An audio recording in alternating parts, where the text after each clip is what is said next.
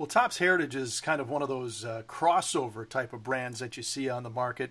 Not very many of those that kind of appeal to both the uh, the vintage collector and the modern collector. Obviously, it's geared toward the modern collector, but here they are. They just hit the retail uh, shelves this week, and so we picked up a box of the 2011 product, and of course, they are modeled after the 1962 Topps set, which uh, really is a favorite of a lot of collectors because of those wood grain borders and uh, just kind of a lot of the neat little uh, quirks that go along with it. So we'll see what Topps has in store. Obviously, some of the uh, better inserts and things are not a part of this. They're being held out for the uh, the uh, hobby boxes. But we'll see what we get. A lot of people getting introduced to the hobby through the retail pack. So if we can get them out of the box, we'll get going. And there are nine packs, or in this, uh, I should say, uh, nine cards per pack, and, and eight packs total in the box. So that's what you get. Roy Halladay on the cover of the box, and also on the packs themselves. And if you look at the uh, Heritage brand, of course, they've got all those short prints, which is kind of a problem if you're a, a collector of uh, base sets because it's going to take a lot of money and a lot of time to put together a set of Heritage. But let's go. We see we got uh, Casey Coleman, Ryan Braun, and you see the, the wood grain borders, which are uh, are pretty neat actually, and uh, very similar to what you would have seen back in 1962. There's Francisco Rodriguez, Minnesota Twins team card. We've got Randy Wolf, a couple of Brewers in one pack, J.A. Happ, and there's the uh, Babe Ruth special cards that were part of that 62 set and they're they're back here in the Heritage brand. And there's Ted Lilly. Pack number two. Paul Konerko. Pretty good centering on these. That wasn't the case back in 1962. Desmond Jennings. We got Jonny Gomes. There's uh, the wouldn't you love to see Harry Caray pronounce uh, Kosuke Fukudome's name? That'd be great, wouldn't it? Ian Desmond, Adam LaRoche, Ozzie Martinez, Carlos Lee, Jimmy Rollins. Checklist. Can't uh, get over how strikingly similar these fronts are actually to the ones that came out back in 62. Very, very similar. Obviously, that's a little bit different on the back, but uh, give credit to Topps for that, for being true to the old brand. Here comes pack three.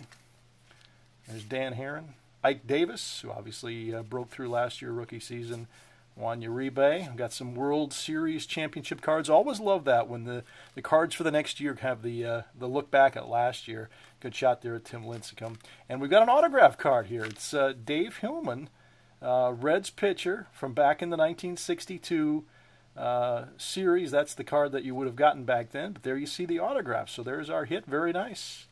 And uh, says Topps certified autograph issue right on the top. So nice uh, signature and a, a, very nice pull.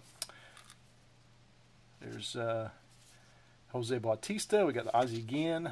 Good to see manager cards. Frankie Cordero. And there's Joe Mauer of the Twins. So safe to say we're not going to get another uh, hit probably out of this box, but uh, kind of neat to see that one come out uh, about midway through. But let's see what else we've got here. Like the cards so far. Nyjer Morgan, Evan Longoria, getting some pretty decent uh, players here, if nothing else. Jon Jay. There's the rookie parade, like you remember in the uh, high numbers back in 62. Logan Morrison's on there. Mariano Rivera. There's the Babe Ruth special card. And there's another pretty good uh, shot of the uh, win leaders from last year in the American League looking much like they did back in 62 when you would have seen guys like Koufax and Warren Spahn. Jose Lopez. We got three four packs to go here. Try to get through these as quick as we can. Tommy Hanson, Bobby Abreu still hanging around. Aroldis Chapman, the rookie notation there, another one. Chris Coghlan, Ryan Theriot. Like to see the cards get updated, showing the players on their current teams. Here you got Mark Reynolds, Red Sox Rippers, Pedroia and Ortiz, Alex Gordon. There you got Paul Maholm, and a flashback to 1962, the uh, Mariner 2 successfully encounters Venus. A little nod to science there back in December of 1962. Babe Ruth special again. Got an A's team card. Franklin Gutierrez and Jim Thome, who's putting up uh, some numbers that are certainly Hall of Fame worthy, I think. As his career goes on, probably winding down. CC Sabathia, a little four picture card there showing him throwing a curveball. Julio Borbon, Jorge Posada, Felix Hernandez, Brooks Robinson, and another flashback card, kind of like that one. We got a Matt Holliday uh, Sporting News All Star. Of course, those were also in the high number series back in '62. Mark Teixeira and Mark Buehrle. And one more pack to go, and we'll call it a wrap. Not a wrapper, but a wrap. Chone Figgins. There's Chris Carpenter.